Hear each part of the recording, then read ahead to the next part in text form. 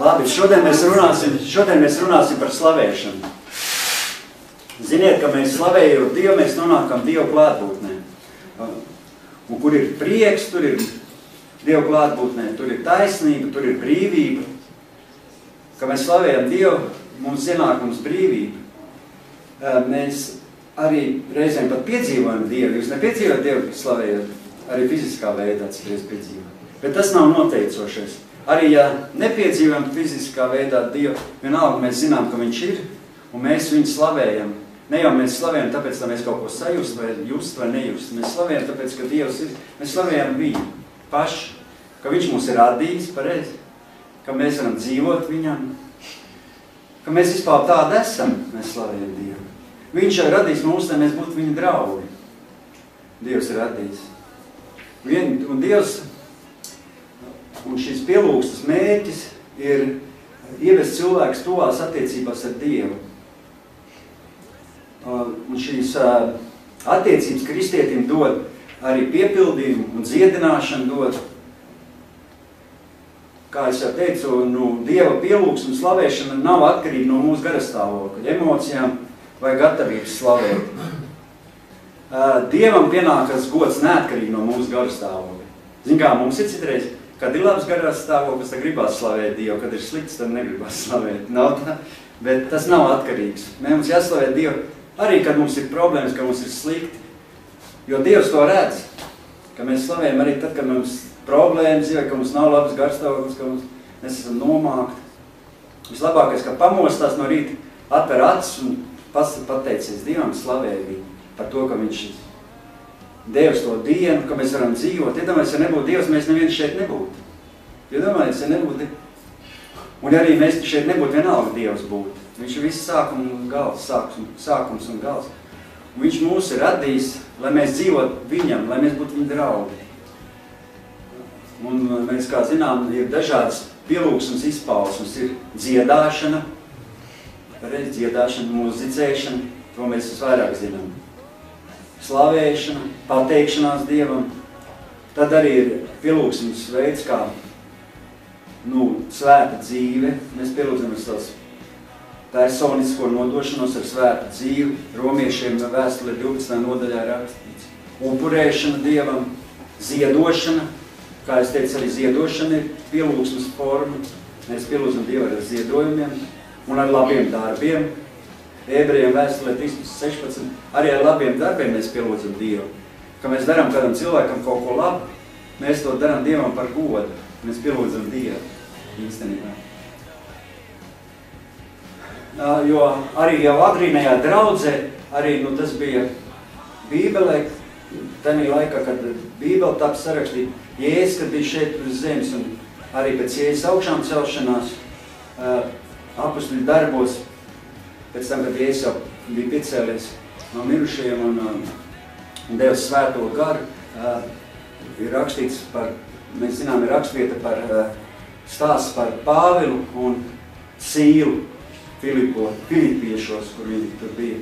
Un ka viņus arestēja. Mēs uh, zinām, ka viņus arestēja, ka viņus sasita un, un, un iemeta cietumā viņus.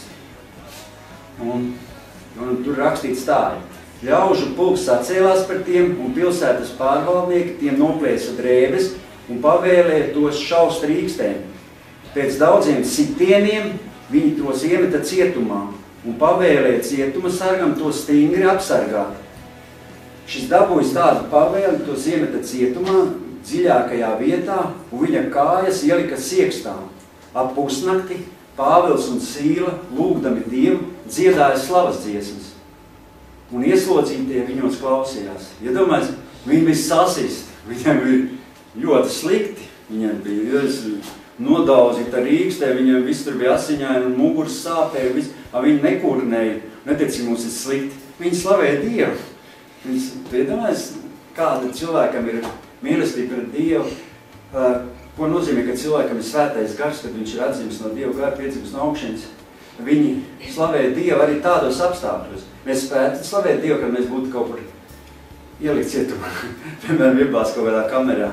Mums būtu ļoti slikti, mums tur daudz, nu, nezinu, bet Pāvils un Sīla slavē Dievu. Un ap pusnakti Pāvils un Sīla lūgdami Dievu dziedāja slavas dziesmas, kā mēs zinām 25. pantā rakstīti, rakstīts. Un, ieslaudzī, un ieslodzītie viņos klausījās. Viņi, viņi tā klusām neslavē, viņi skaļi slavē Dievu, skaļi slavē Dievu. Un to dzirdēja ne tikai ieslodzītie, kā viņas slavē, bet arī Dievs dzirdēja. Un piepeši notika liela zemestrīce, tā kā cietuma pamata sakustējās, un tūlīt, tūdaļ atvērās durvis, un visiem nokrita važas. Atbrīvošana nāca tieši tad, kad viņi slavēja Dievu. Redzi, kā mums ir. Tas ir tā, varbūt tas pat līdzīgi, varbūt pat tā nav līdzīgi. Es domāju, ka tā Tad tā arī bija, bet uh, tas arī mums brīvība nāk tad, kad mēs slavējam Dievu. Nokrīt mūsu važas, nokrīt mūsu uh, sliktās lietas, no mums aiziet prom. Mārtiņ, kad tu slavēsi Dievu, tad negribēsies ne alkohols, ne cigaretes, ne. Tad tev viss sliktās lietas nokritīs no tevi. Negribēsi ar māmas lamāties, strīdēties. Tad viss nokritīs un visas važas, viss ļaunais aizies, kad mēs slavējam Dievu, mēs iegūstam brīvību. Dievs mūs attīra no visas sliktām. Viņš atbrīvo mums tieši tad, kad mēs slavējam Dievu. Mēs zinām arī, ka kad rakstīts citā rakstvietā, kā apustuļu darbos rakstīts, ka Jēzus mācekļiem, pirmajiem kristiešiem, par pirmajiem kristiešiem mēs lasām. Un mēs zinām, ka viņi, tur ir rakstīts, ka apustuļu darbos otrajā nodaļā 46. 47. pantā. Es nolasīšu. Viņi mēdzīgi dienas vienprātīgi sanāk templī pa mājām, tie lauza maizi un baudīja barību ar gavilēm un vientiesīgu sirdi, slavēdami Dievu. Dievu, un viņi bija ieredzēti visā tautā, bet tas kungs ikdienas pievienoja viņiem tos, kas tika, tika izglābti mēs varam pievērst uzmanību tam, ka viņi mē, mē, mēdza ikdienas vienprātīgi sanākt kopā, viņi lauza ma, maizi un baudīja barību ar gavilē, slavēdami Dievu. Viņi ikdienas slavēja Dievu.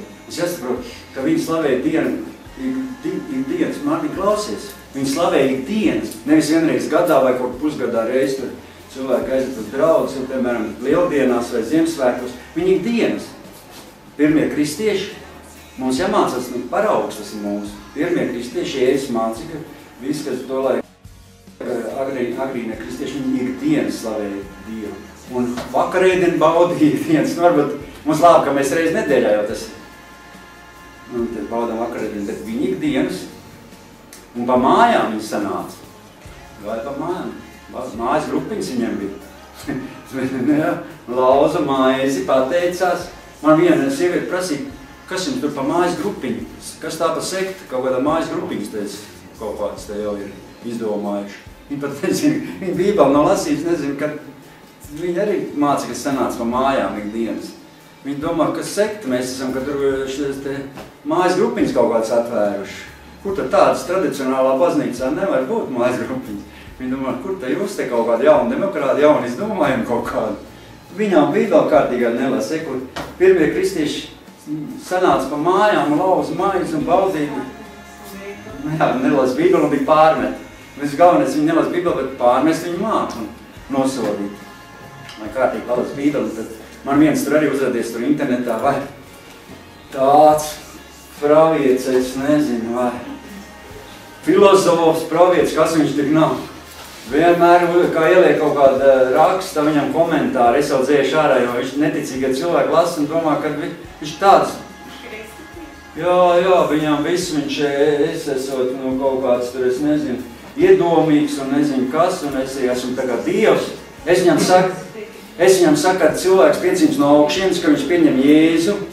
Es viņam saku, ka cilvēks piedzimst augšienes, pieņem Jēzu, ka cilvēks ir izglābts uz mūžiem kad viņa dienā iemājas svētais gars, viņa vārds ierakstīt dzīves grāmatā. Nē, tu esi iedomīgs, tu domā, ka tu esi, nu, es saku, tā ir, Bībele to apsola mums, kad mēs esam glābti. Nekas mums nevar izraut no Dieva rokām. Bībele to saka, ka mums Jēzu Kristu nav nekādas pazudināšanas. Nē, tu esi kaut kāds svētais, ka tu iedomājies. Viņš saka, nu, ir tie cilvēki, viņi bībeli nelasa un tik filozofē, un tikai savu dzen. Un visi cilvēki neticīgie lasa. Uzreiz viņi izlasa, domā, nu, viņiem jau, viņiem jau patīk, zin, ka tā ir kaut kas uzrakstīts. Laikam būs jābloķē taču. Jā, vai komentārus nepieņem. Nu jā, laikam, jā, bet cik cilvēki, nu, lai komentē, bet, nu, nevar, tu tā, vajag kārtīgi lasīt bībeli. Tātad mēs redzam, ka Bībelē ir lietoti vārdi ikdienas, katru dienu. Jā, jā, mūsdienās tiešām kristieši reizēm tikai tādi kristieši, kas sanāk reizēm pusgadā pielūdz un slavē Dievu un dzied Dievam. Es jau zinu, ka, nu, ir tādi, diemžēl. Viņi sauc sev pa kristieši, tas saka, cik te jūs bieži uz baznīciet, pa lieldienām un Ziemassvēkiem, un, un arī ne katru reizi aiziet. Jo Bībelē ir reku rakstīts tā, citā vietā arī, ka ir iereģistrēts, ka viņi patstāvīgi atradās templī, patstāvīgi atradās templī, slavējot un svētījot Dievu. Patstāvīgi. Nevis tur par etam, patstāvīgi. Agrinajā draudzēm. Kāpēc mēs nevaram līdzināties tiem pirmajiem kristiešiem? Un tad brīnās, ka mums nenotiek nekas dzīvē, nenotiek, nemainās, tauta iet uz, uz pazušanu un viss tik daudz ļaunums. Tāpēc, ka nedara tā, kā Bībele māca. Bībelē mēs lasām arī citā vietā, ka Lūks evaņģēlijā, piemēram, tur rakstīts, bet tie viņu, tas ir Dievu pielūdza un atgriezās Jeruzalemē ar lielu prieku un bija allaž templī un teica un slavēja Dievu. Viņi bija allaž draudzē, allaž savā templī. Vienmēr nebija tā, ka viņi tur par etam atnāca un neatnāca. Viņi allaž bija templī un slavēja Dievu. Dievs ļoti priecējas, un es zinu, es tā ticu, un es nu, saprotu, arī Bībelē mēs redzam, ka Dievs ļoti priecējas un nemitīgi, ka mēs nemitīgi viņu slavējam un pateicamies viņam. Mums arī pašiem patīk, ka mums ir uzslava, pareizi, ka mums kāds uzslava. Tā nepatīk? Mārtiņ, ka tu kaut ko labi izdari, tā nepatīk, ka tev uzslavē, ka tev uzslavē, ka tev pateicās, ka tu izdarīsi. Un Dievam arī patīk. Jo mūs taču arī tas tā iepriecina. Arī Dievam tas patīk. Dievam patīk, ka mēs izsakām par viņu atzinību un pateicamies viņu. Jo Dievs mūs ir radījis sev par prieku. Dievs jau varēja īstenībā mūs nemaz neradīt, pareizi. Priekš kā viņam vajadzēja mēs. Bet viņš radīja mūs, lai viņam būtu sev par prieku. Lai nebūtu tik skumīgi. Jo, kad mēs piedzimām, mēs zinām, ka Dievs stāvēja mums līdzās. Katrs ik viens, kad mēs piedzimām, dzemdību nodaļā Dievs mums bija blakām un līdzās. Viņš priecājās par mūsu piedzimšanu, es domāju. Viņam tas sagādāja prieku. Jo Dievam, jo viņš gribēja, lai mēs dzīvojam priekš viņu, dzīvojam viņam, lai mēs dzīvojam viņa godībai, viņa priekam, viņa nodomam. Un viņa uzdevums ir tas, lai mēs, vi, viņš grib, lai katrs cilvēks dzīvo priekš viņa, viņam dara viņa lietas, ko viņš uh, pateicas, ko viņš vēlas, pateicas viņam. Un tad mums nebūs arī šī mazvērtības sajūta. Mēs zināsim savu patieso vērtību. Jo viņš, Dievs, iedomājies, ko Dievs vēlas. Viņš vēlas, lai mēs būtu mūžībā kopā ar viņu. Ne tikai šeit zemes dzīvē, bet mūžībā. Vēl, nu, kā bija? Ah. Ludmila, Ludmila, Dievs grib, lai tu mūžībā būtu kopā ar viņu. Mūžībā. Mūžu mūžos ar viņu. Ja domājies, cik forši ar Dievu mūžu mūžos. Nav vēl pat nomirt, ne? Ja tu, esi, ja tu zini, ka tu esi mūžu. Man kādreiz bija bail no nāvas. Bet tagad vairs nav. Nē, nu es jau negribu tā kā mirt, man vēl daudz atdzīvo, bet, bet tagad man nav vairs tādas bailes, tik panisks, ka kādreiz man tur bija slikti vai kaut kas ar veselību, es tur nobijies, ka es nenomirst. Tagad, nu, es zinu, ar Dievu būšu mūžu kopā, jo Dievs mums ir radījis, lai mēs būtu mūžībā kopā. Mēs zinām, kā mēs varam būt mūžībā tikai ar Dievu kopā. Mums ir jā, es vēlēšu jau šeit šīs zemes dzīvē būt kopā ar Dievu. Mātiņ, ja tu nebūsi šeit virs zemes kopā ar Dievu, tu zini, ka arī mūžībā tu nebūsi kopā ar Dievu. Tev ir šī laikā jāizvēlās pavisam nodot sev dzīvu Dievam. Nav nekāds tāds joks, zin tā. Domā, ka tā joks, zin. Ar tu nevar zināt, kas tev notiks. Mazums, kas var notikt. Nu, nē, es nevienam nenovēlu kaut kas, bet tu mazums, kas cilvēkam var notikt. Tu iet pat, man arī, es sabraucu pa trotuāru gāju, es tā pasaka nopietni. Vienreiz es biju, tas bija ķengara gadu, cik tu daudz gadus atpakaļ naktī gāju uh, uz uh, autobusu, nakts autobusu, braucu uz talsiem, un gāju pa trotuāru, un viena mašīna nāca, un pretī pilnā ātrumā, man līdzi ar kājām, es knapi, tā, tādu gabaliņu, kad 5 centimetri no kājām tādu, buf, ieskrēja režģos iekšā, visu to priekšu sadauzījumu, un izbrauc atpakaļ uz ceļu šitā un aizbraucu. Vai viņš bija piedzēries, vai viņš aizmigs, vai kaut kāds narkotikas salietojis, nezinu. Un pilnīgi knapi, es gandrīz beigts, uz paļu trotuāru iet. Mierīgi, iet tā, neko, nevienam neko slikti iet man gandrīz beigts. Tāds netrūk. Tāpēc, ka mazums kādās. Ir tādi, kas, esi dzirdējis, kad teroristi Amerikā, kas ap, kaut kas viņiem, es nezinu, tie tiek musulmaņi vai kas viņi. Es nezinu, viņi iebrauc cilvēku pūlī ar mašīnu. Pilnā ātrumā ienesas un šķīst cilvēku visu pa gaisu. Tur. Viņi, viņi paši negrib kaut kādu tur, es nezinu, kas viņiem tur par ticību vai kaut kā. Atsevišķi tās lidmašīnas, kas tur ir. Pašnāvnieki. Pašnāvnieko. Ja? Pašnāvnieki. Ui, ko viņi tik nedara. Es domāju, nu, tu vari beigts būt gadīties.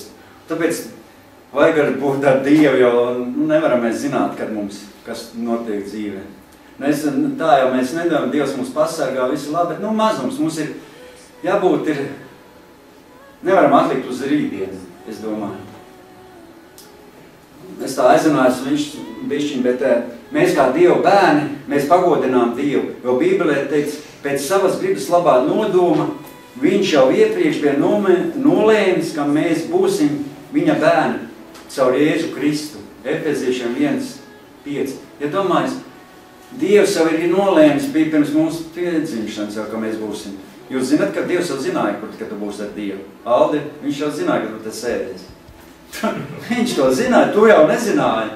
Bet viss tā izvērtās, viņš jau viss zināja. Mātiņ, viņš zināja, ka tu te filmēs, viņš jau, ka tu te liks. Viņš jau viss zināja, viņš katras minūtes zina tavu stundi.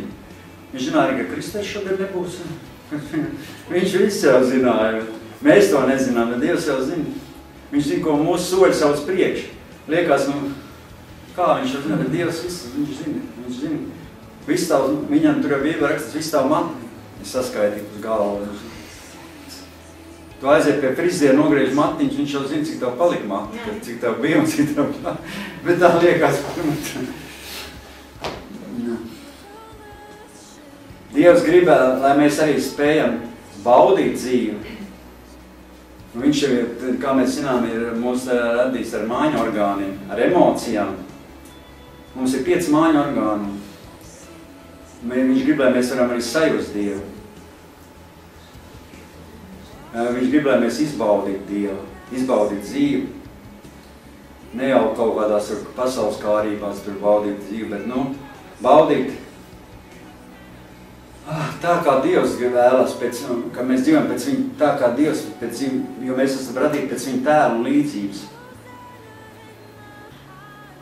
Mēs zinām, ka arī Dievam ir emocijas. Jūs to zināt, ka arī Dievam ir emocijas. Viņš nav tāds bezjūtīgs kaut kāds radījums. Mēs zinām, ka Dievam ir, viņš arī gresirdīgs, dusmīgs reizēm. Nepatīk, ka dusmīgs Dievs.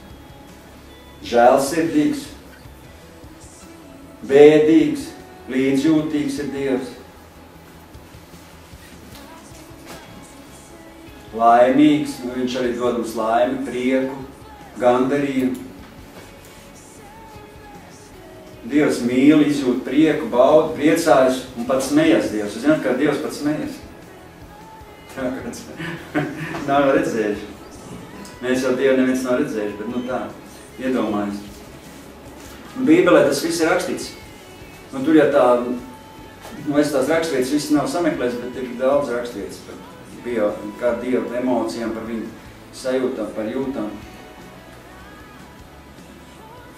Un Dieva ieprie, iepriecināšanu mēs arī saucam par pielūgsmu. Tad, kad mēs iepriecinām Dievu, tā ir pielūgsme.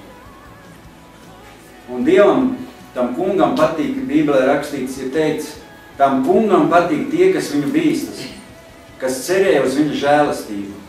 Psalms 147, 11.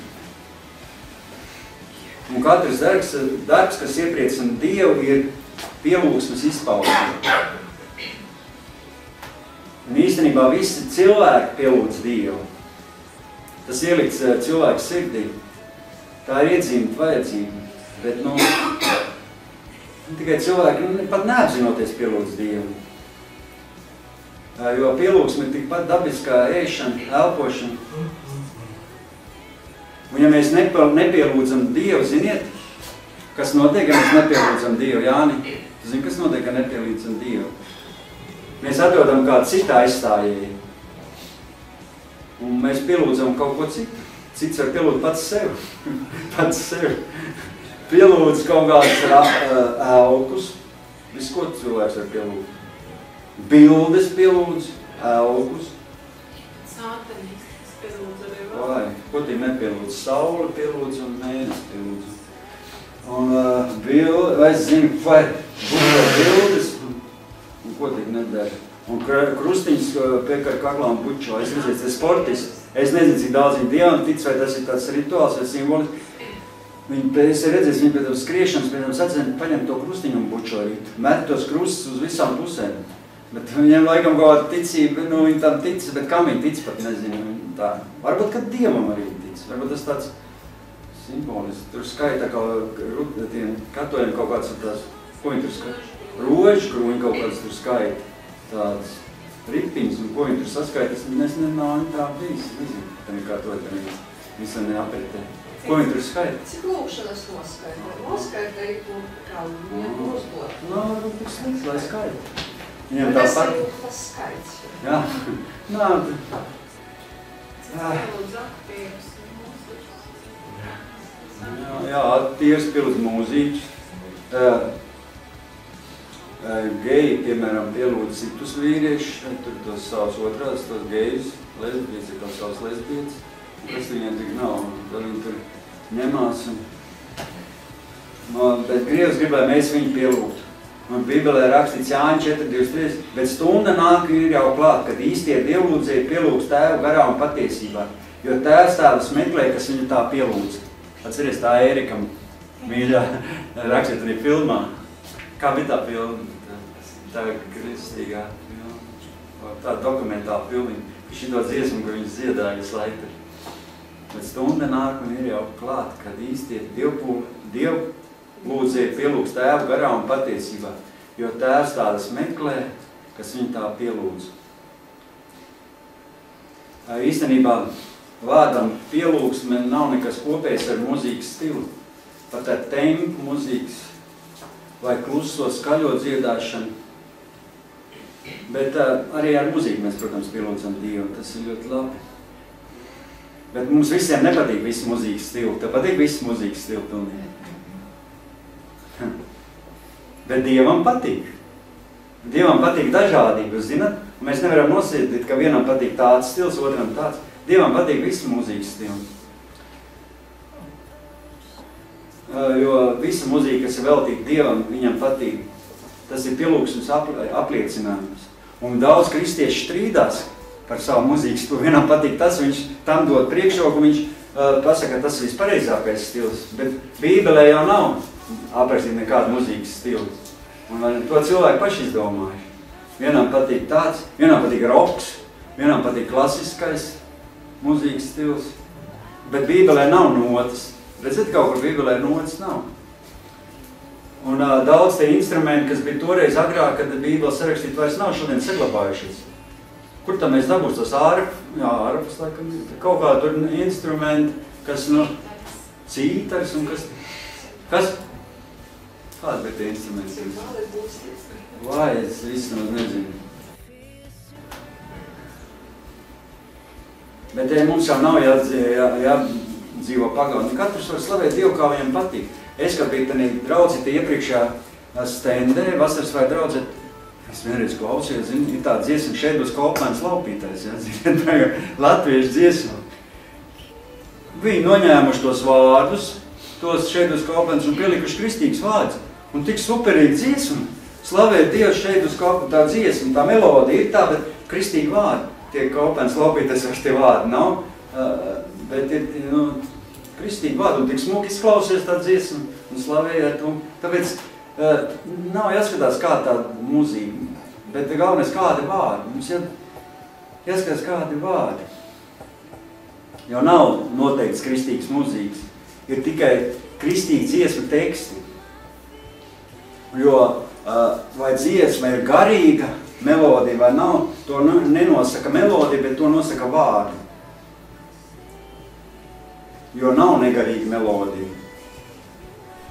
Jo, ja mēs, noskar, no, ja mēs no, noklausāmies to dziesmu bez vārdiem, mēs nemaz nevaram pateikt, vai tā ir kristīga vai nav kristīga. Jebkurai dziesmai var ielikt kristīgs vārds. Pareizi. Es pat dzirdēju repā, slavē, mēs paši slavējam. Mārtiņ, atceries, repoja.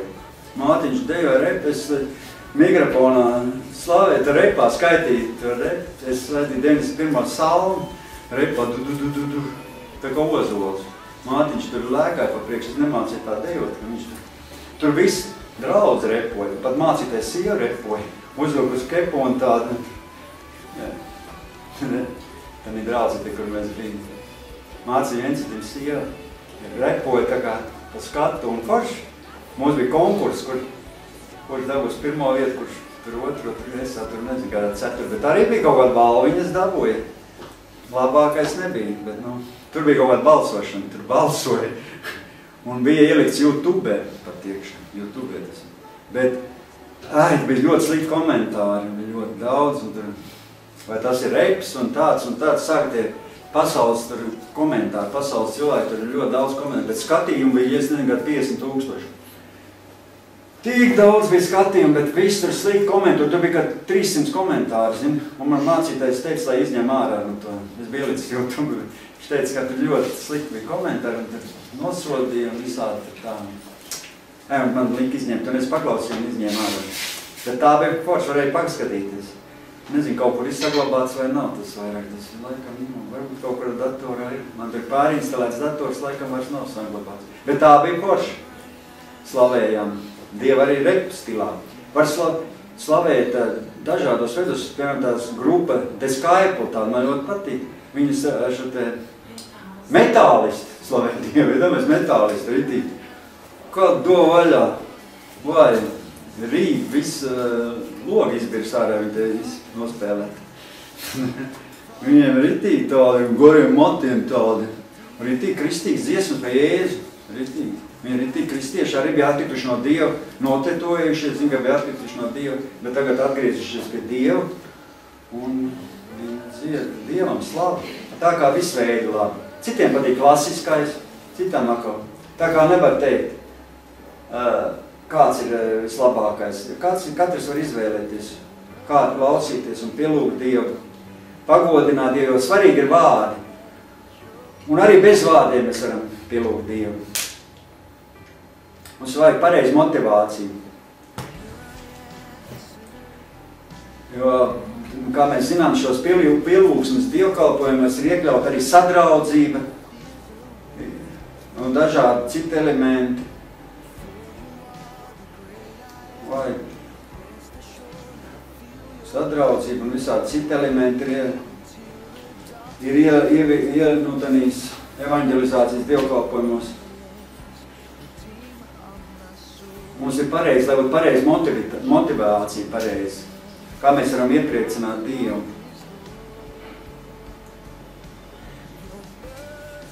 Galva un iesejas grāmatā es te pierakstīju, rakstīts, ka Dievs pievērš uzmanību tieši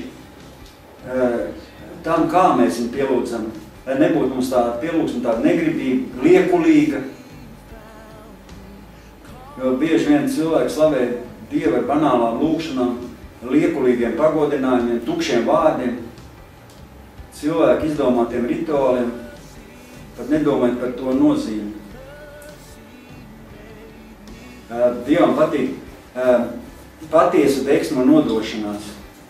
Es, kā biju Ukrainā, vai kā tur slavēju Dievu, es tur lēkāju bez slapšu visi. Tur tā slavēja Dievu, vai tur ir ritīgi ansamblis slavēja, tur viss tā zāle, tur Tur, tur, vai, nemaz nemāk. Mums arī tādā iepriekšējā draudzē ļoti slavēt Dievu, kur mēs bijām. Rezāja, lec kā traki, bet slavēt Dievu, tur lēkāja un priecājās mums tā. Bet tas dažādi var, arī tā mierīgi var slavēt. Tas ir kā cilvēki izvēlās. Jo Dievam patīk mūsu deksmu nodošanās galvenais. Jo Bībelē ir teikt, šī tauta man tuvojas tikai ar savu muti un mani godā tikai ar savām lūpām, bet ar savu sirdi ir tālu nos no manis. Un viņu bība manā priekšā ir tikai ārīgi iemācīta cilvēku ieraža. Iesaist grāmatā 29, 13. Cilvēki ārīgi parāda sev, bet iekšēji mums vajag, Dievs skatās uz mūsu sirdi, viņš skatās, kā tu slavē Dievu. Kā tu, es, piemēram, kad slavēju Dievu, es skatos uz tiem vārdiem, es domāju līdz, ko ir rakstīts uz to tanī dziesmā. Nu, man patīk vārdi skaisti. Nu, skaisti vārdi, bet es domāju, kas tur rakstīts. Pārdomāju, kad es dziedu un klausos, es skatos, un tā nebūtu tā tukša tāda slavēšana, vai tik nebūtu tāda. Jo cilvēki arī mēdz arī izrādīties. Jā, parādīties no citiem cilvēkiem. Nav ievērojuši, ka cilvēki, mums bija draudzē, atceries Aigari, jā, Aigari, nu tāds Aivariņš. Tā slavē Dievu. Mēs domājam, nu tas ir svēts laikam, zini. Visu vēl Jēzu, Jēzu. Mm.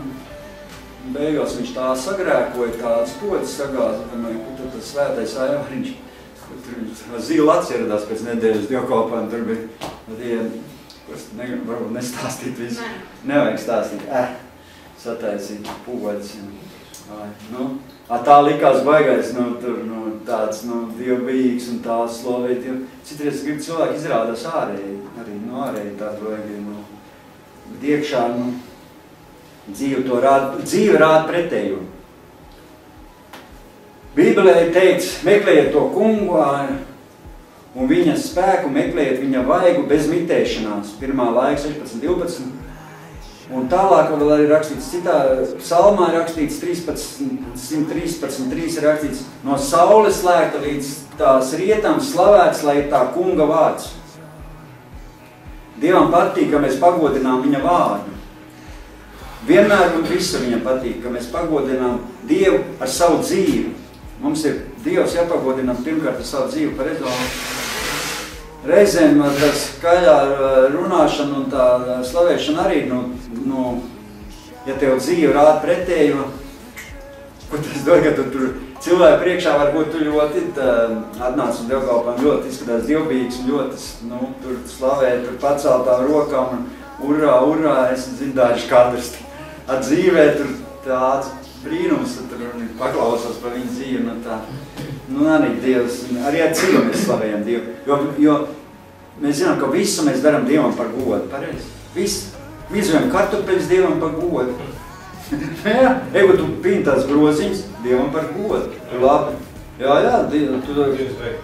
Kā? Dievam par godu. To jau tu dari, tu palīgi tu cilvēkam, kāds grib nopirkt tādu groziņu, vai ko viņam, piemēram, viņš to uztver kā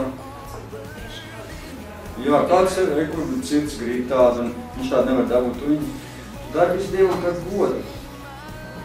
Un kad mē, man patīk tā doma, un es arī tā daru, tagad jau, kad no rīta pamostos, tad, kad atver acis, es vienmēr kaut ko Dievam pasaku. Nu, slavu, uz kādu slavu dod Dievu. Un arī iet gulēt. Slavu tev, Dievs, ka tu tā mūs radījis, ka tu esi, ka tu tā. Un slavēji. Nu, ne jau tur ilgas ļoti, bet, nu, kādu laiku slavēt tā kāds vārds pasaka teikums. Varbūt, ka vajag ilgāk, es nezinu. Man tā nav ilgi, mums vēl laikam, nu, nav tā stundām, es tā ne, cits jau tur stundām laikam ņemamās. Es nezinu. Man tā kā, es katrs ir savādāks cilvēks, mēs nevaram nokopēt. Pareizi. Viens ir tāds, otrs ir tāds, cits tur stundām var ņemties. Domā, ka viņš ir svētāks par to, kas tur 5 minūtes, es nezinu. Varbūt Tā jau saka, ka, ka vajag vairāk, bet nu, es nezinu, kā Dievs skatās uz katru savādāk. Ja, Psalmā 3.4. Divi ir teicis, Dāvids sacīja, slavēšu to kungu vienmēr, vienmēr, viņa teikšana aizvien būs manā mutē. Dāvids slavēja Dievu vienmēr, bija problēmas vai nebija. Viņš pat Viņam bija grūti brīžiem galvē, ko viņš slavēja Dievu. Viņš teica Dievam, kāpēc man tā notiek un kāpēc šī tā un tā. Tur psalmos ir ka viņš prasa Dievam, kāpēc Dievs ir atstājis un tā un tā. Nav lasījuši salmus, ka viņš tur tā, bet viņš viss saka Dievam. Un viņš eh, slavē viņu, vienalga. Bībelē rakstīts arī teikts, ir 1. korintiešiem 10, 3, 1 ir teikts, tāpēc ēdiet vai dzeriet, visu dariet Dievam par godu. Jāni, ēd vai dzer, visu dariet Dievam par godu. Uh, kur es tur lasīju, ka Mārtiņš Luters teica, ka slaucēji var slavu godu Dievam par godu. Ko? Viss iespējams darīt Dievam par godu. Tas nevar būt. Nevar? Dievam par godu izslaukt godu. Nē. Nu kā te? Domāju, ka varbūt Jā, jā, tā jā, jā, ja tu to apzini. labi izslāpt, neatstāt neko. Tas, tas, tas tā nav, tāpēc, ka ta- tas ir eh, vienkārši tas jādara un viss.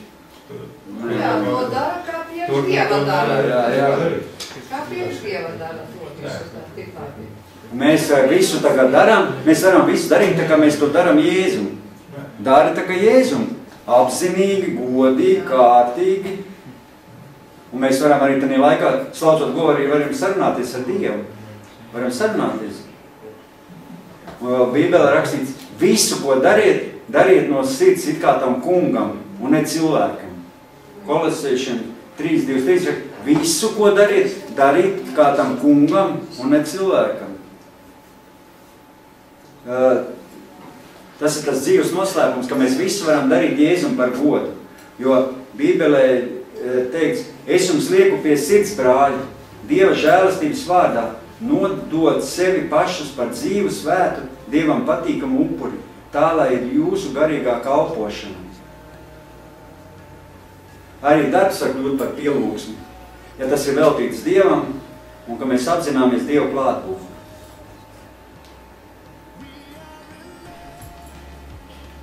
Kad, piemēram, es, piemēram, kad es iemīlējos savā sievā, Aigā, es par viņu visu laiku domāju. saproti? Ēdot, es domāju, braucot uz savu darbu, ko es skolā, tad es strādāju braucot uz darbu, es domāju par Aigu. Kad es apmeklēju kristīgas sapulces, es domāju par Aigu, stāvot rindā, es domāju, es nespēju pārtraukt domāt par viņu. Nu, viņa man patika, un es par viņu domāju. Un tas man palīdzēja just aigas klātbūtnī. Un pat arī tad, kad viņi nebija tūmā, es tad dzīvoju, nu, tur tādā imantā, ja? Nebija viņa klāt, viņa nebija man klāt, bet es runāju par viņas, tas man palīdzēja būt viņas tūmā, tūmā, būt it kā, nu tā, es tā, tas man palīdzēja. Tas pats ir ar Dievu, kad mēs par Dievu, uh, tas ir tāds līdzībā, es to pateicu arī, bet tā, arī par Dievu, kad mēs par viņu domājam, varam domāt, ēdot, ejot veikalā rindā stājoties, un, un tā ir tā iemīlēšanās Jēzu. Ka mēs nemitīgi par viņu domājam, mēs mīlam Jēzu, un mēs, tā kā es par Aigu domāju, tā mēs arī varam domāt par, par Jēzu. Un tas, un tad mēs arī Dievu tūmu jūtam pareizi, Dievu klātbūtni, kad mēs domājam par viņu.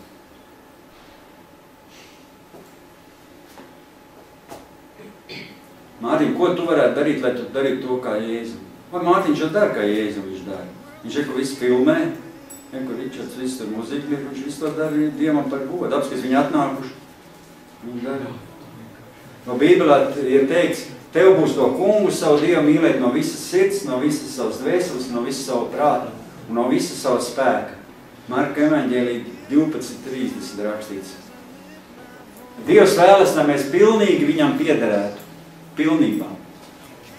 No, Dievs vēlas, lai mēs pilnībā viņam piederētu. Lai mēs viņu mīlētu. Viņam negrib, Dievam nepatīk tāda negribīga nodošanās daļēji paklausīt, daļēji laiks viņam nepatīk, viņam, viņam patīk pilnīgi nodošanās. Mēs spējam pilnīgi nodoties Dievam tā spētu, nu, bet Dievam patīk, kad es pilnīgi nododas. Eh, reiz kāds samā, samāriet, atcerieties par samāriet pie jākas tā, kad Jēzus satikās. Viņa diskutēja par vislabāko pilsmas laiku, vietu un veidu. Jēzus atbildēja, ka uh, jautājumi par pielūgsmas ārēju izpausmu nav būtiski. Uh, tas nav tik svarīgi, kur tu pielūdz Dievu, bet tas ir svarīgi, kā tu pielūdz Dievu. Un cik tu no sevis pienes Dievam piel, pielūgsmas laikā. Jo ir pareizs un nepareizs pielūgsmas veids. Ebrejiem vēstulē 12, 28 ir teikts, Bībelē teikts, saņemot nesatricināmu valstību, būsim pateicīgi, tā mēs Dievam patīkami kalposim ar bību un bailēm.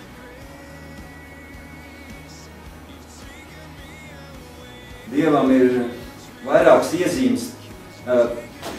Dievam patīk vairākas pielūgsmes iezīmes.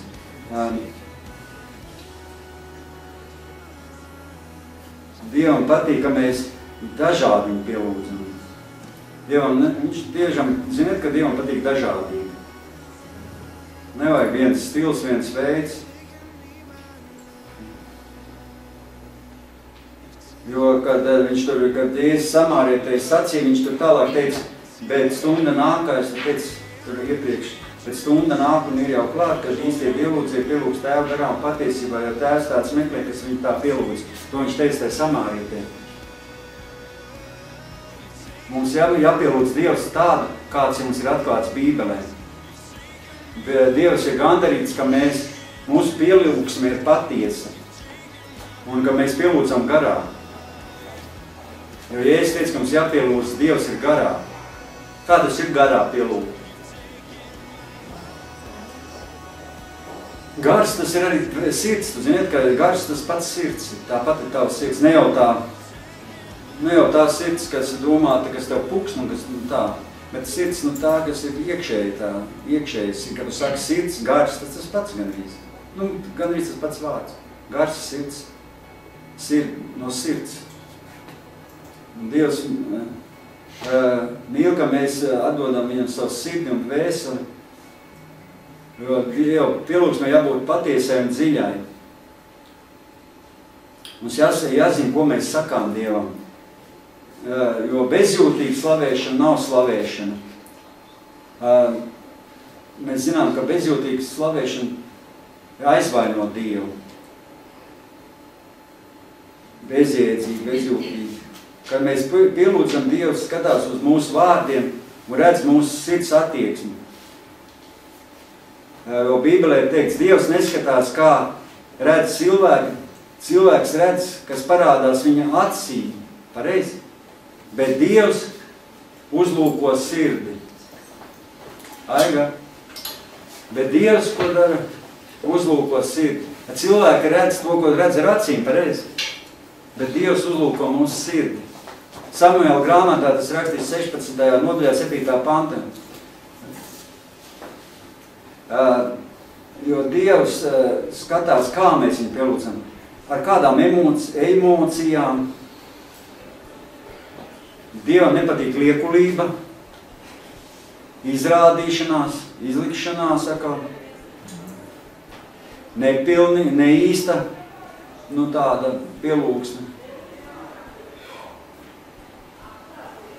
Bet, kad mēs lūdzam garā un patiesībā tas ir garā un patiesībā, tad mēs lūdzam ar visu savu būtību, ar visu savu garu, lūdzam kā pēc Bībeles, ar visu savu sirdi.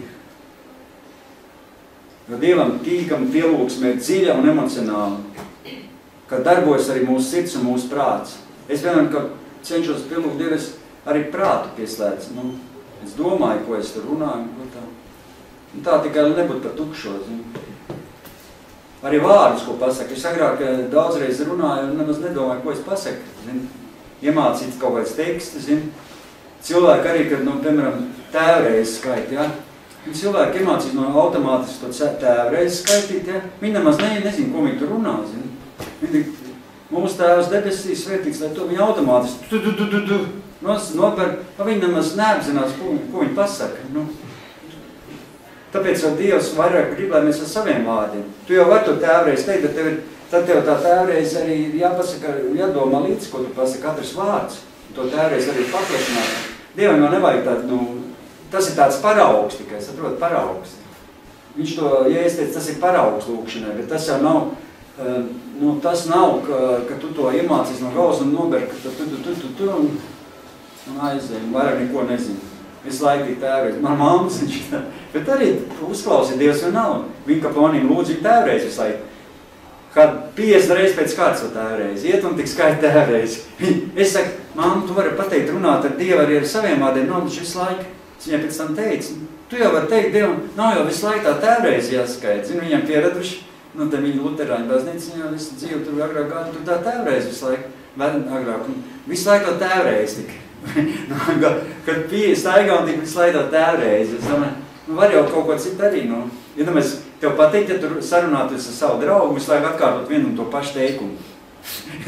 Iedomājies, ja satiekās ar savu draugu un visu laiku vienu un, pa, vienu un pašu teikumu, kādu 50 reizes pēc kārta. Dievam arī, tāpat Dievam viņam visu laiku negribas, bet vienu un to pašu visu laiku Mūsu tēvs debesīs svētīts, lai tavs vārds nāk tā valstībā. Tikko pēc sakot, mūsu tēvs debesīs. viņš, ne, viņš jau grib, lai tu no sirds, lai nebūtu tagad tāds automātisks tāds. Nu tā. Es tā domāju.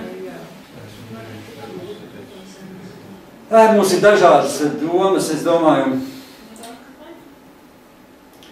Bet Bībelē ir dažādi slavēšanas veidi. Dziedāšana, mēs zinām, saukšana, goda apliecināšana. Bībelē ir teikts, ka pagodināt Dievu ar stāvot, tur ir rakstīts stāvot, nometoties ceļos, dejojot, radot prieka, pilnu troksni, liecinot, slā, spēlējot mūzīgas instrumentus un paceļot rokas. Citi saka, oh, man meita teica, tu tikai necel rokas augšā. Es zinu, Tā tie ir sektanti, kas ceļ rokas augšā. Es kāpēc sektanti ar rokas? Bībelē rakstīts, paceļ, slaviet Dievu paceļot rokas. Tur ir tā rakstīts, izlasiet psalmus kārtīgi vai lasīt. Tur ir tieši salmi, kur ir teikts, lai paceļ, slaviet Dievu, paceliet rokas. A tie, viņi ieraug, tu necel rokas augšā, tu būsi sektanti. Es vienreiz aiz pie viņas ciemos, un pēc tam viņa tālsā dzīvē, es jau tikko nācu kritīts, es tāds decīgs, viņš visu laiku ienāk viņas rokas gaisā, slava Jēzum, zini. Tu tik neesiet koridorī, tie kaimiņi, ka neierauj, tu necel tu roku augšā. Istabā vēl var, ka neviens neredz, bet tu neaiziet tur koridorī, necel to roku augšā. Man būs kauns pa visu, pa visu māju. Es teicu, ko tu kautrēji? Kauns par to, ka es pats esmu sektanti. Es, viņai esmu teicis, viņas tam drauga tēvs, ka tie ir sektanti, kas cievogas gaisā viss. Kur to dabūja gatavu, kur tie cilvēki? Viņi tik neizdomā? Bībeli. Vajag izlasīt Bībeli. Eku psalmā, piemēram, 150. psalmās priekšsīt. Teiciet Dievu viņa svētajā vietā, teiciet viņu, viņa varas spē, spēcīgajā cietūksnī, debes izplatījumā. Teiciet viņu par viņa lielajiem darbiem, teiciet to kungu viņa varenības godības dēļ, teiciet viņu ar bazūnes skaņām, teiciet viņu ar stabulēm un cītarām, teiciet viņu ar bungām un vīgām dejām, dejojiet bungas sitiet, teiciet viņu ar stīgu un flautu skaņām, teiciet viņu ar skanīgiem svārguļiem, teiciet viņu ar gavle zvaniem, visi, kam dvaša, lai slavē to kungu. Dievs grib, lai mēs ritīgi visu dvašu slavējam. Viņi negrib to... Dievs, nebūtu rakstīts, visi, kam dvaša, lai slavē to kungu. A, bet tie, es jā, bungām, cik tur pat neļauj, kur rakstīts, teiciet viņai bungām. Pat vecos laikos ir bungas Dievam par godu ansambli tagad uzspēlē bungas, saka, tas nav no Dieva, kad bungas draudzē. Ir tādi, es dzirdējis, ka neļauj bungas sita, tas neesam no Dieva bungas sita. E, kur rakstīts, ar vīgām dejām, mēs nemaz nedejojam, bet te, ko citi dejo. Piemēram, ebreji, tie tur dejo ritīgi. Mēs, biju, mēs bijām koledžā, tur tāds ebrejs bija ar tā cepurīt uz galvas, te tāda, un te ebreji zvaigzne. Viņi tur sadodās rokās un skrēja pa visu to zāli, viņi dejoja Dievam. Atceries, tur visu rindu, tā, tas ebrejs pa priekšu, viņam tā draudzē tur dejot, no tur. Un ar stīgu, redz, un flautu skaņām, ar bazūnu skaņām, redz, stabilēm un cītarām. nu, tie veci instrumenti, tagad ir ģitāras, tagad ir jauni. Un citi instrumenti. Mums jau tie vairs nav. Cītars, stabulīts, iedomājies, ka mums būtu stabulīts, var jau stabulīts, flauta, tie vēl tā ir. Var jau ar flautām arī. Bet, nu, tas ir vienkārši parādīts, ka kā Dievu slavē visādos veidos. Nav ko tur, tā kā cilvēki nelas Bībeli un tikai runā. Vai, ka uzliek, draugos ieliek žingauvētas slavēšanas dziesmu, kur kā, nu, tāda, vai, kas nav no Dieva, un kas tas ir no Dieva, un kas nav no Dieva. Paši nezinu, tik kaut ko ir. Nu. Galvenais, lai mēs parādītu mīlestību pret Dievu. Jo daudziem kristiešiem trūks sadraudzība pret Dievu. Viņi ir iestrīguši kaut kādā tur zināmā pielūgsmas rutīnā, visādās formās, paši izdomātās, un, un viņi domā tik par tiem veidiem, kā slavēt Dievu, bet mums galvenais ir slavēt Dievu nu, ar vārdiem, ar, ar, ar sev piemērot veidu. Mēs katrs varam izvēlēties veidu, katrs ar savu veidu. Viens var, es pilnīgi piekrītu, var slavēt ar klasiskas mūzikas pavadījumā, var rokā, var, nu, jebkurā veidā nav tāds nu, noteikts veids. Jo tie, pat arī agrāk bija dažādas metodas, kā cilvēks slavēja Dievu. Citi slavēja Dievu brīvā dabā, citi atkal dziedot slavēt, citi dejojot, citi dzīmējot arī. Ziniet, kad var zīmējot ar slavu. Eku tad ir draudzē, Dievu upi tur ir gleznojumi, tā meitene, viņa slavēja Dievu ar zīmējumiem, ar zīmēt. Pareiz kā es Dievam visādi zīmējumus. Anitīm. Ļoti smuki. tā mums ir kaimiņiem. Dažādas aktivitātes cilvēkiem, kā var slavēt. Jo dabas mīļotāji, piemēram, atrodas dabā. Sentimentāli, sentimentāli, nevar tā vārds teikt, sentimentāli cilvēki mīl Dievu ar sajūtām, dod priekšrāku uh, slavas un pielūgsmes dziesmām, dievkalpojumies. Viņiem vajag, lai ausis uh, dzird labu, skaistu mūzīku, cilvēki tur viņi jūt līdz tad dziesmai, viņi tā. Cita kā klusumā mīl Dievu slavēt klusumā, vienkāršībā. Cita kā ir, kas vēršas pret Dievu ļoti, pret Dievu, pret to ļaunumu tieši vēršas. Es biju tā kā Ukrainā, tur ir ļoti, man aiga, tur ļoti pret sātanu vēršas. Viņi, cilvēki mīl Dievu un vēršas pret ļaunumu viņu. Viņi apkaro netaisnību, mēģina padarīt pasauli labāku. Viņi tik cen prom, ļaunie gari pazūd.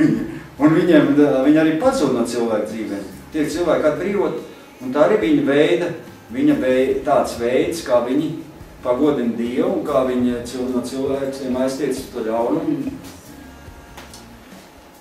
Daudz cilvēku arī do, uh, jūt nepieciešamību rūpēties par cilvēkiem, mīl Dievu, apmierina cilvēku vajadzības.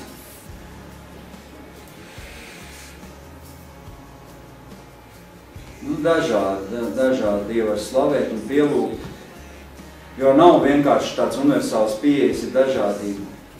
Mēs nevaram neviens nosodīt un neviens, un arī mūs neviens nevajag neviens mūs nosodīt. Katrs var izvēlēties. Mēs katrs esam tādi, kā esam, pareizi. Mēs nevaram nokopēt. Zin kā, mums viens piemērs bija, viena viena slavētāja bija draudze, iepriekšējā draudze, kur mēs bija, un viņa tā, tā Indriņa, kas ir tā slavētāja, viņa tā, pēc viņa tā ļauj kaut kā tā, nu, viņa tā, viņa tā dedzīgi slavē. Un vien arī slavētāji uz, uz to spēlē, uz to sintezātoru, arī tā gribēja attēlot Indriņas. Un viņai tik nesanāk tā bļaušana, nu neteikšu vārdu.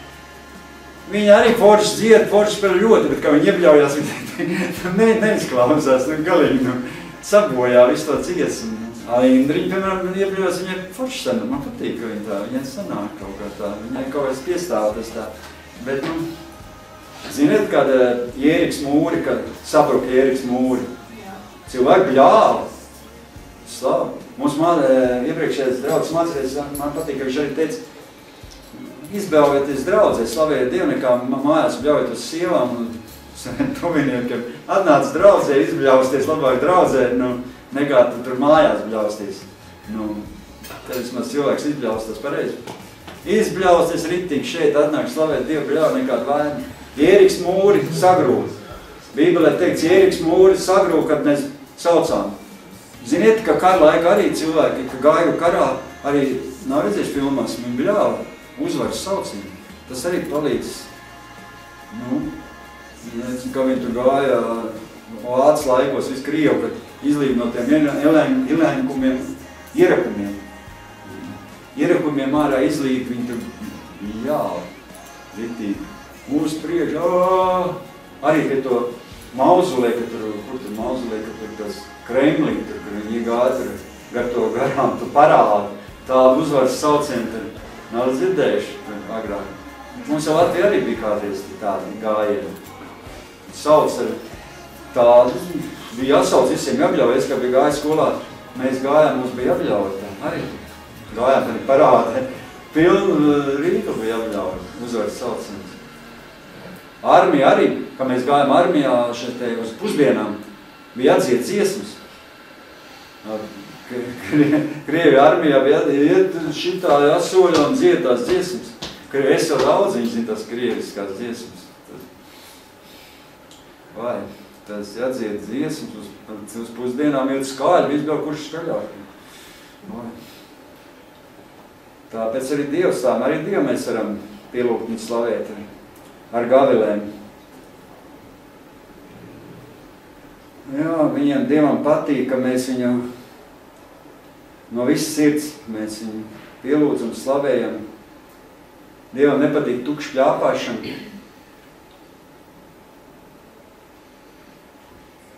Dievam arī nepatīk, ka tur, es tev teicu, atkārto viens tās pašas frāzes.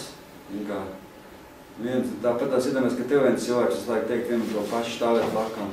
Dievs grib, lai tu runāt un teikt, es tā domāju. Novērtēt viņu, godāt viņu. Pirmā vēstulē korintiešiem 14. nodaļā tās noslēgumā ir teikts, lai arī mēs būtu pieklājīgi un kārtīgi draudzē, zinat? Lai, kad neticīgie cilvēki ienāk, lai viņi neaizmūt uzreiz projām, zin? Ir nu, Bībelē tā rakstīts, viss, lai notiek pieklājīgi un kārtīgi. Jā. Tas nozīmē, ka Dievs uzstāja, lai mūsu pielūgs un dievkalpojums būtu uh, saprotams neticīgiem cilvēkiem, jo viņi arī tajos piedalās. Ja nāk neticīgs cilvēks, lai viņam nebūtu nu, tā, ka viņš ierauga kaut kādas, nu, zin, ir jau, es, kad tikko nāc pie Dieva, zinu, visādas izpausmes, tur patika kaut kādas, es nezinu, vai tur pietēloja, zinu, vai kā tur višķiņi, es nezinu tur locījās, un tur tie cilvēki, nu, tur mēs arī tēlojam. Man varbūt tā nebija īsti, bet es tā skatījos, ka citi es arī gribēju tāds garīgs būt, un es arī tur tā locījos līdzi. Un viens es aizbraucu uz Vēnspili, vienreiz tāds gadiem bija. Mēs vien draugu aizbraucu. Un man gribējās tādu garīgu būt, mēs sākām tur locīties, jo viens pienāca tas vecākais kristietis, viņš saka, ka tas, nu, ka jums ir kaut kāds ālēšanās gars, viņš teica. viņš saka, jums, jums kaut kādā izskatāties tādi jokaini, jo tāds Dievs nav paredzējis tādiem. Mēs viņu teica, ka vajag glābšanu, pestīšanu, ko tu te uz mums te iedomājies? Mēs te, zin, tu te mums te, bet es tagad saprotu, ka mēs tur bišķiņi pietēlojam, tur gribējām baigi, tur būt tādi garīgi, zin. Tā, zin, cilvēki, ka mums bija Sinkauters, tur stāstīja visās brīnum lietas. Tur stāstīja, ka tā dziedātāja Indriņa arī stāstīja, ka viņa tur uh, bija mācījusies, kā krist gar zemi, kā izskatīties garīgai. Tas reliģijas gars, kaut kāds, zin, kā, nu, tā kā cilvēki grib, lai viņš izskatītos garīgs, viņi saka, es visu tur krīt, visu tur, viņi saka, es arī mājās pie spoguli trenējos. jā, jā, viņi tā stāstīja, viņi teica, tur trenējās pie spogula, lai viņi arī izskatītu. Viņi saka, man tas nozīmē, es lieku to roku virs, viss man nekas nenotiek. Es mājās trenējos tur, viss tur tā draudzē, tur gāžās, tur zem, tur purinās. Viņi saka, es arī gribēju tā, viņai nekas nenotika pie spogula trenējas. Viņi ingaudrā stāstīja, ka viņi... lai viņi tā izskatītos, vai garīgi tā izskatītos. Cilvēki, ne, ne visi. Mums tāds Anatolijas bija mājas grupiņā. Ja es viņam prasu Anatoliju, kā Eka tev mācīties par tevim lūdzu? Viņš teica, es jau pietēloju višķi. Šis tur nokrīt, ka viņš es jau pietēloju. Viņš man, vai ne, viņš tā pats teica? Es jau tā višķi pietēloju. Citais arī priecīgs. Jā, nu jā, tas izskatās baigi forši. Nu jā, man vienreiz šitā bija, ka es atbraucu uz to Jēlgavu, uz to vasaras svaigu draudz, bija vasaras svaigu draudz, mums bija tur arī kaut kāds lūkšanas par, par vajadzībām, un izgāja priekšā, un viss tur lūdza, nekas nenotiek. Zin, tas man kaut kāds lūdz par tiem cilvēkiem, un viens cilvēks nokrita zemē, kad lūdza. Un tikko kā nokrita, visi skrēja tur priekšā, un visiem lūdzu, viss sāk tur kristi, zin, tur tā. Pirms tam nekas nebija, tikko viens nokrita, tad viss uzreiz uz to skatu visu un visu, zin, tā. Cilvēki uzreiz, nu, viņiem kaut kā tā ir. Es nesaku, ka tas viss ir vienmēr, tur ir arī tā īstenībā, es pats ir nokritis un tā, un nevar noturēt tas kājas, bet daudz cilvēku arī, nu, izliekās un visā. Tāpēc, nu, bet tas nav galvenais. Un tad es tikai to gribēju stāstīt, ka neticīgiem cilvēkiem var arī rasties slikts priekš, priekšstats, ja mēs tur visādi ālēmies un tur, nu, nu, savas dievkāpēc, jo Dievs grib, lai mums būtu kārtība, pieklājība un kārtība mēs būtu. Lai mēs uh, neticīgos cilvēkus neaizbaidītu, ja viņi atnāk gadījumā. Jo Dievs ir gandarīts, ja mūsu pielūgsme ir praktiska. Bībelē rakstīts, Es jums lieku pie sirds, brāļi, Dieva žēlastības vārdā nododiet sevi pašus par dzīvu, svētu, Dievam patīkamu upuri, upuri, lai tā, lai ir jūsu garīgā kalpošana. Romiešiem 12.1. Nu, mēs zinām, ka mūžībā mums būs jauns, garīgs, atjaunots ķermenis. Uh, un kad uh, šīs zemes dzīve, tikai tas ir īslaicīgs. Īslaicīgi mēs šeit dzīvojam. Un ka īstenībā tas gars, kas ir mūsos, tas esam mēs paši, tie mēs esam. Tas, tā miesa, tas tikai mūsu ārējais apkalps.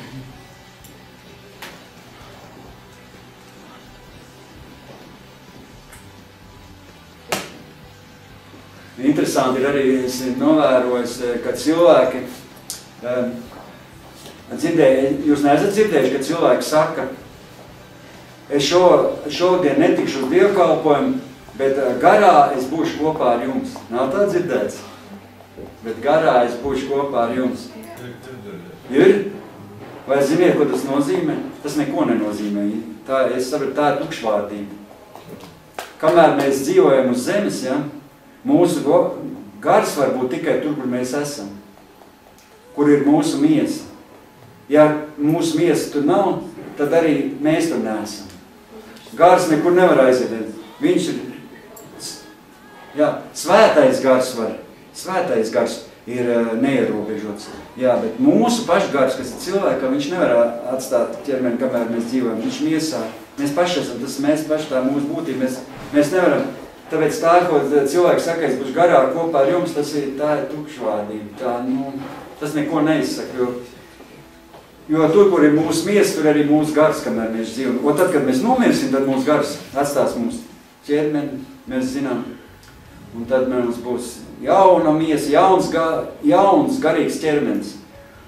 Un to mēs eh, zinām, kā tur būs, un to varbūt citreiz pastāstīšu, bet uh, mēs to, es Bībeles koledžā to daudz uh, dzirdēju, ko stāst, kas Bībelē ir apstiprināts. Tad mēs zinām, ka mūsu mājoklis, mūsu vieta ir sagatavota debesīs. Tie, kas pieņēmuši Jēzu, tiem ir mūžīga dzīvība. Tiem ir mājoklis debesīs. Sagatavots jau. Ludmila, tu zini, ka tev ir mājoklis debesīs jau sagatavots. Tev nav jāuztraucās. Tikai dzīve, priecājas. Tie, kas pieņēmuši Jēzu, to, ka ir piecimuši no augšanas, eh, viņiem nav nekādas pazudināšanas, viņiem droši viņi ir eh, izglābti, jo Dievs to ir apsolījis. Dievu iepriecina dažādi pielūgsmes veidi, ka mēs zinām pateicība, slava, pazemība, naudas ziedojumi, lūkšanas, kalpošana citiem, palīdzība, trū, trūkuma cietie, cietējiem. Um, nu, Dievam patīk īsta pielūgsme. Nepatīk, kad mēs esam egocentriski, kad mēs uh, bet ka mēs nevēršamies uz Dievu, bet vēršamies uz sevi.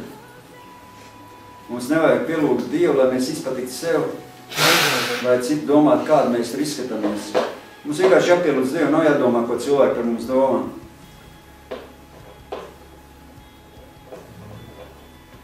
Jo, jo Jēzus sacīja, mīli Dievu ar visu savu spēku. Viņš norādīja, ka pielūgsme prasa piepūlu enerģiju.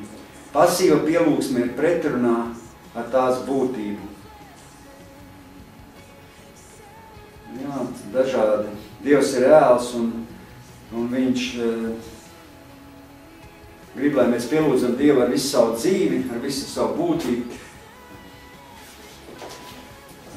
Kaut arī mēs reizēm Dievu nemaz nejūtam. Jūs jūtat katreiz Dievu? Nejūtam reizēm, neko mēs nejūtam. Bet mēs zinām, ka viņš esam, ir, mēs zinām viņa klātbūtni, ka viņš ir. Dievs arī reizēm tā izdara. Es domāju, katra cilvēka dzīvē tas tukšums, tukšums ienāk, kāds sausais periods, ka viņš neko nejūt. Par mēnešiem viņš neko nejūt, bet viņam ir, viņam jāturpina pielūgt Dievu, jāapzinās, ka Dievs ir Un arī, kad viņam ir slikti moks, atceries, kā bija Ījabam, kā bija. Ījabam arī nebija tur labi, viņam gāja galīgs, vai ne? Tur slikti. Un kas viņam tik nebija, viņš tur saslim un visādas vainas viņam bija. Un viņš turpināja Dievam pateikties, turpināja pielūgt. Un Dievs arī reizē mums tā pārbauda. Arī cik mēs esam uzticīgi, arī tad, kad mēs neko nejūtam. Tad, kad mēs nepiedzīvojam Dievu, bet mēs turpinām. Tāpatās ar sievu, zin, kā ir ar sievu, arī vīriešiem ar sievām reizēm tā mīlestība tā kā pazūd arī. Nu, ir viņa, viņa visu laiku nav tāda. Domā, ka visu laiku tādi, ka tev tur, vai tur skudiņas iet cauri. Tā nav. No sākuma ir, pēc tam, ka viņa pazūd uz kādu laicību. Un, bet, ja tu turpini, apliecini, ka tu to sievu mīli, arī jūtas pēc tam atrodas. Uzrodas atkal no jauna. Dievs atkal dod jūtas, ja tu turpini. A, ja tu uzreiz nav jūtas un meklē citu sievieti, atkal domā, nu tik būs Arī tā otra tas pats būs. Kāds laiciņš būs, pēc tam pazudīs, vēl ātrāk pazudīs nekā tā. Bet ja tu turpināsi, apliecinās un turpinās mīlēt Dievs, tos atkal jūtas no jauna atkal. Man tā arī bija. Un tā, es zinu, ka tā ir visiem cilvēkiem. Tāpēc arī pret Dievu tā. Dievs arī pārbauda tā uzticamību, arī tad, kad tu neko nejūti. Jo nevar viss, nu ir varbūt reizēm, kad cilvēks visu savu dzīvi tik ļoti nenormāli mīl un visu laiku bez apstājas. Bet es domāju, ka nav pārsvarā. Tāpēc cilvēki arī pasaulē daudz šķirās. Ziniet, kāpēc?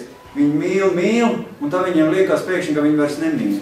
Un viņi tad izšķirās, un tad domā, nu, atradīšu citu, viņā, ka ielauks citu, vai, nu, man šitā ir īstā. Nu, es skatos, padzīvu atkal, padzīvu atkal, šķirās atkal, atkal nākoša. Nu, tā, Dievs tā nav paredzējis, un es domāju, ja tu turpinās viņu mīlēt un turpinās dzīvot, tad viņi dos atkal tās jūtas un viss būs. Un tas tā arī ir Dieva, Dievs pārbauda. Mēs visu laiku Dievu arī nejūtam, visu laiku Dievu to klātbūt nevaram just tuvumu. Jā, re, ko te rakstīts ir, ka Dāvids arī bieži žēlojās. Dāvids arī bieži žēlojās par šķietamo Dievu prombūtni. Kur rakstīts, kāpēc, kungs, tu esi tik tālu, kāpēc tu esi apslēpies bēdu laikā, viņš teica. Mans Dievs, mans Dievs, kāpēc tu mani esi atstājis? Tu esi tālu no manis. Ar savu palīdzību es nedzirdu. Un tu nedzirdi manu saucienu, manus vārdus. Un kāpēc tu esi novērsies no maniem, no manis? Tas ir psalmos, tur daudz rakstīt. Dievs, Dāvids tā tā viņa runāja. Bet eh, Dievs eh, mums teica, ka Jozo grāmatā, pirmā nodaļā, piektā pantā ir teikt, teicis, viņš ir apsolis, es tevi neatstāšu un tevi nepametīšu, Dievs. Arī tad, kad tu nejūti, tad, kad tev ir grūti vai kas, Dievs tev neatstās. Vienkārši turpina viņam pateikties, arī, ka mums ar aikšaniem bija problēmas dažādas. Mēs turpinām pateikties un slavēt Dievu un atnāca atkal prieks. No sākuma bija slikti jutāmies, tur tāda problēma. Puika no mājas trīs dienas un, un tas kaut kur pazudis. Un, Un tas, un tas, un visādas problēmas, un neļaut to apertūru atstāt, un tas, bet mēs tik pasakāmies Dievam, slavējam, un atkal Dievs dod prieku un mieru, un, un, un tā kā arī problēma laikā mēs mums jāslavē Dievu. Jo, kā citu mācītājs dzirdējis, ka teica, ka ja nav tev problēmas, tad tevim nav kaut kas kārtībā, pareizi.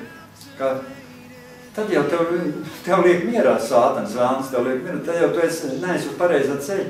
Tie, kas uz pareizā ceļa, tiem ir problēmas un būs, bet viņi pateicas par par visu Dievam un problēmas aiziet, sasaist Jēzus vārtā, padzem prom un viss būs labi un atkal. Jo ir visiem problēmas pa laikam ir. Pareizi, kurām nav problēmas dzīvē. Pa laikam visiem, bet mēs visi tiekam galā, uzvaram un nekurnam.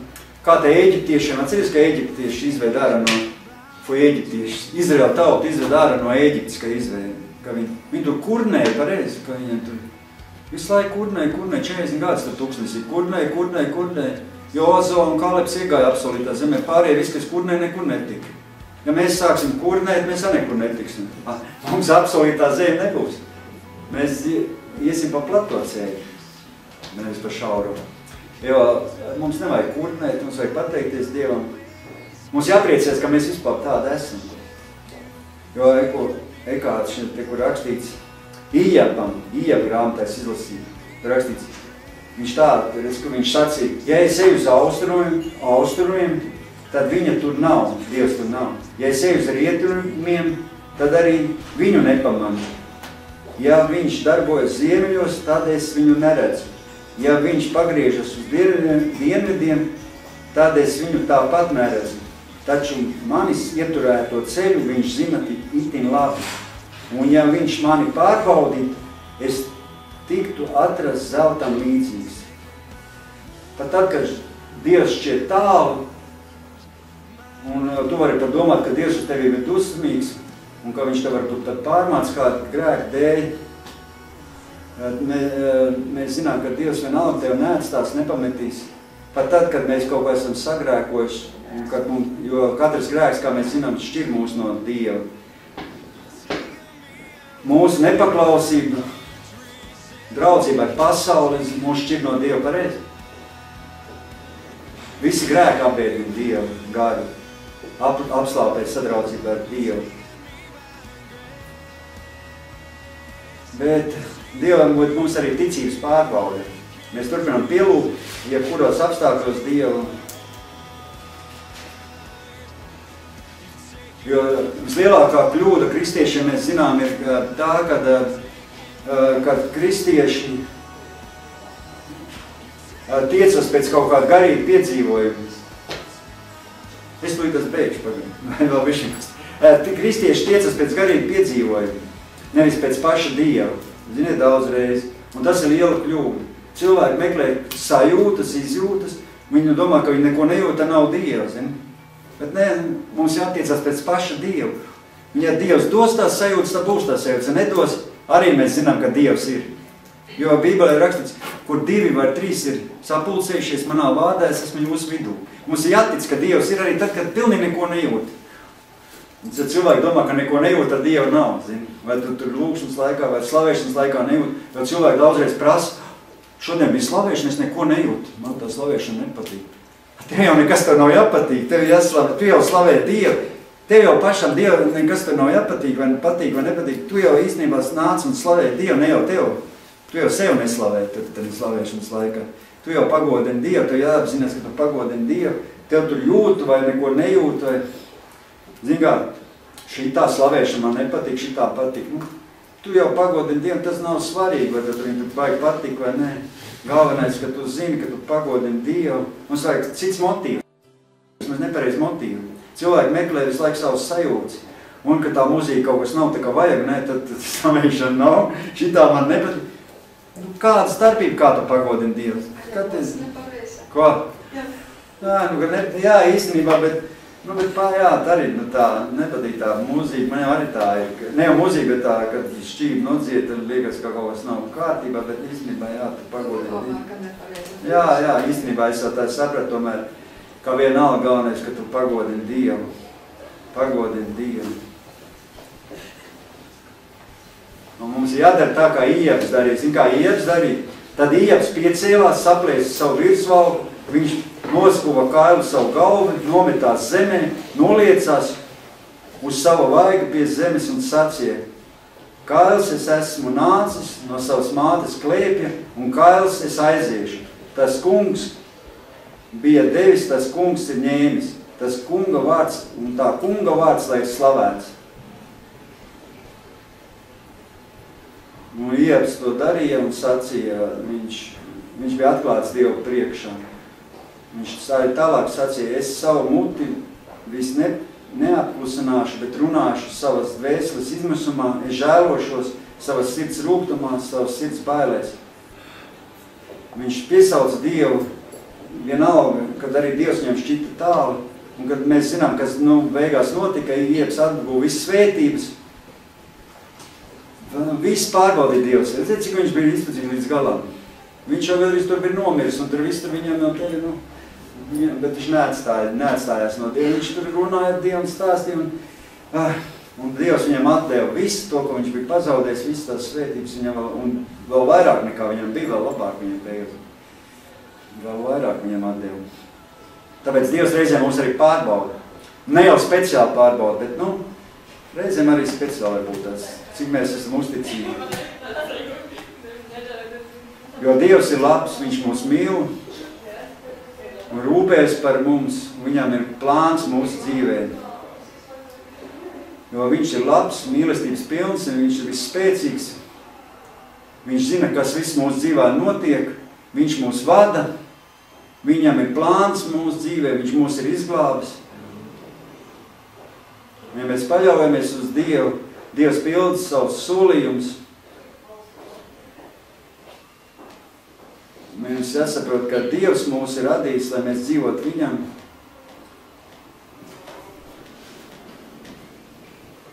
Jo Dievs nekad mūs nepametīs.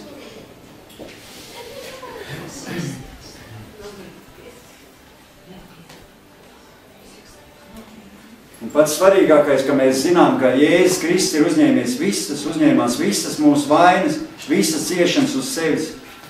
Jo Dievs tik ļoti pasauli mīlēja, ka viņš deva savu vienzimušo dēlu, lai neviens, kas viņam tic, nepazūd, bet dabūt mūžīgo dzīvību. Uh, jo Bībelē ir teicis to, kas grēku nepazina, viņš mūsu labā ir darījis par grēku, lai mēs viņā kļūtu Dieva taisnība. Jēzus atteicās no visa, lai mums būtu viss. Viņš nomira dēļ mums, lai mēs varētu dzīvot mūžīgi. Tas vien ir pelnījis mūžīgu slavu un pateicību. Mums to vajadzētu par to pateikties Dievam.